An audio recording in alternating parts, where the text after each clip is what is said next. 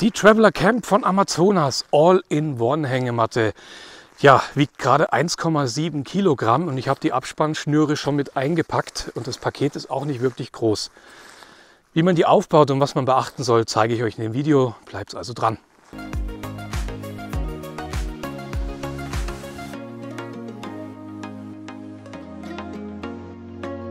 Schauen wir uns ganz kurz den Packsack an. Der hat vier Komprimierriemen an den Seiten, ist wasserfest und unten hat er ein gummiertes Mesh bzw. Netz, damit die Feuchtigkeit, sollte mal die Hängematte nass werden, raus kann.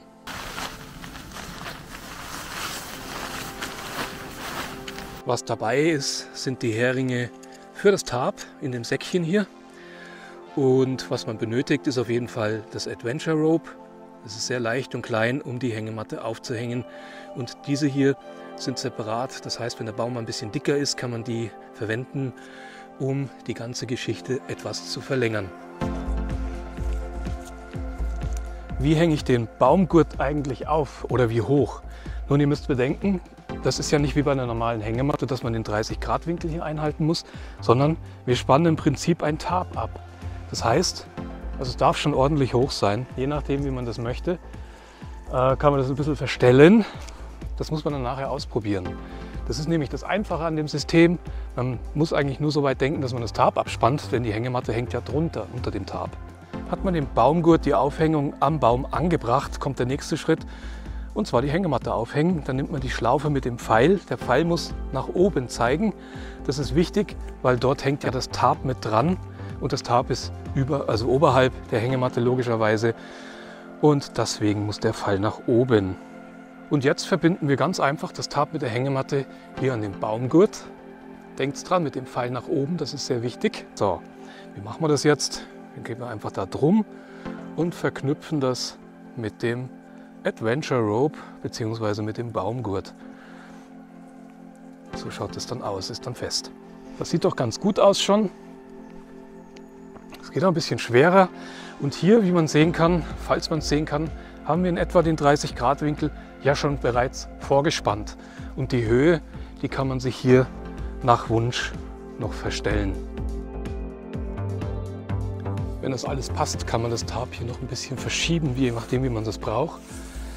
So, das sollte natürlich hier auf jeden Fall über der Hängematte sein, wenn es regnet, dass dann die Hängematte nicht nass wird, ist ja klar.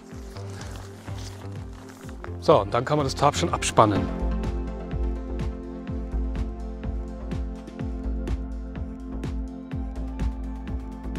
Bevor man dann weitermacht und das Tarp abspannt, sollte man vielleicht erstmal schauen, ob die Hängematte für einen so in etwa ausreichend abgespannt ist, ob es bequem ist, ob man sitzen kann.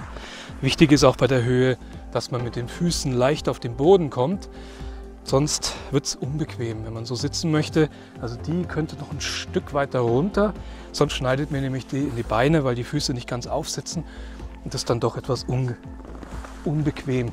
So, vom Sitzen her, Schuhe am besten ausziehen.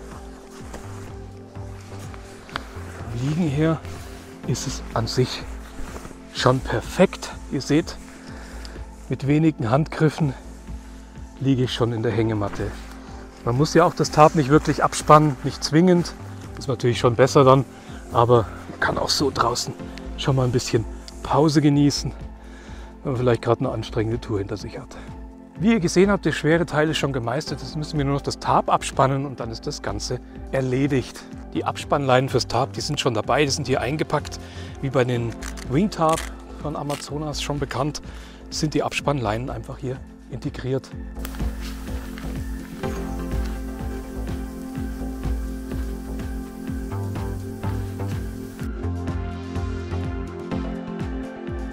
Und fertig ist das Set. Man kann das Tarp natürlich auch ein bisschen niedriger abspannen, aber so hat man mehr Platz. Das Volumen ist dann riesig, wie man sehen kann.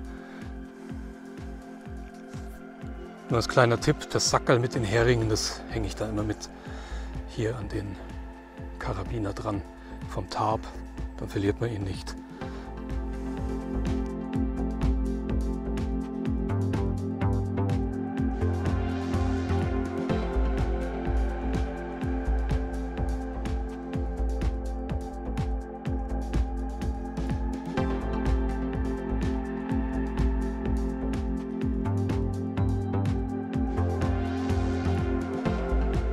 Setup steht, wie man sieht, alles bestens gelaufen. Und hier kann man dann die Hängematte noch verstellen, die Höhe. Das heißt, wir können die jetzt auch nach oben ziehen, bis nach oben ganz. Und schon können Sie hier unten drunter gemütlich sitzen.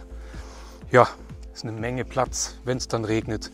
Natürlich auch euer Gepäck drunter packen und so weiter.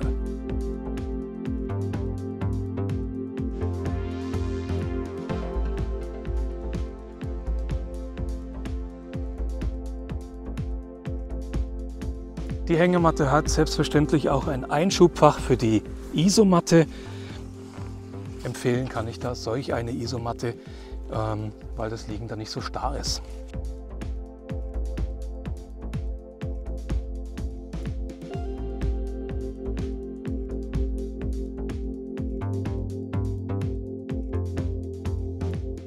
So, jetzt reinlegen, das habe ich mir echt verdient. So, das war es auch schon mit dem Video über den Aufbau der Hängematte. Ich hoffe, es hat euch ein wenig geholfen. Andere Videos über Hängematten, wie zum Beispiel, wie schütze ich mich gut vor Kälte im Winter, die habe ich oben verlinkt und schaut auch gerne mal in die Infobox und lasst mir doch auch einen Daumen nach oben da und ein Abo, ich freue mich. Ich selber mache noch einen Overnighter. Ich bleibe heute hier über Nacht und werde die Zeit genießen draußen im Wald. Dann danke fürs Reinschauen, bis zum nächsten Mal, macht es gut, Servus, ciao.